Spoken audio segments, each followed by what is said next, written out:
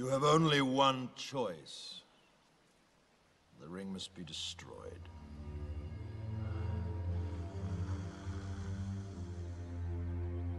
What are we waiting for?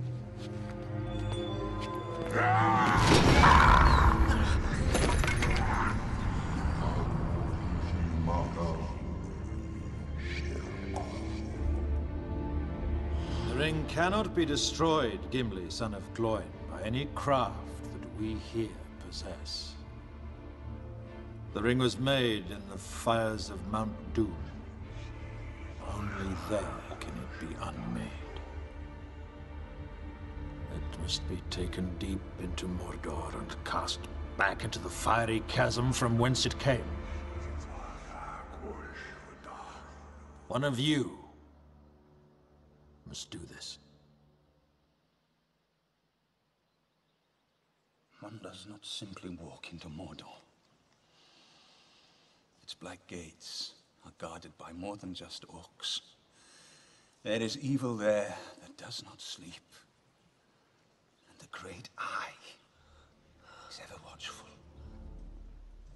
It is a barren wasteland, riddled with fire and ash and dust. The very air you breathe is a poisonous fume. Not with 10,000 men could you do this. It is folly. Have you heard nothing Lord Elrond has said? The ring must be destroyed.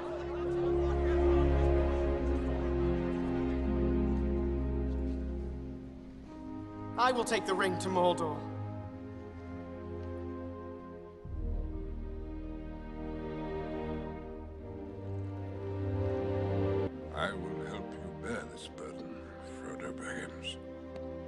Long as it is yours to bear.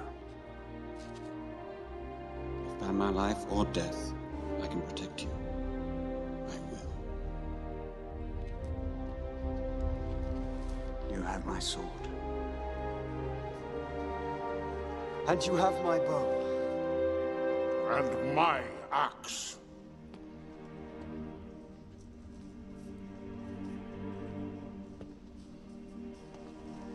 Carry the face of us all, little one. If this is indeed the will of the Council, then Gondor will see it done. Mr. Frodo's not going anywhere without me. No, indeed, it is hardly possible to separate you, even when he is summoned to a secret council, and you are not. Wait! We're coming too!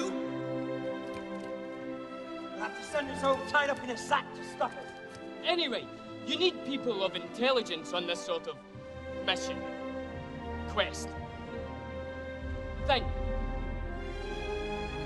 Well, that rules you out, Pip. Nine companions. So be it.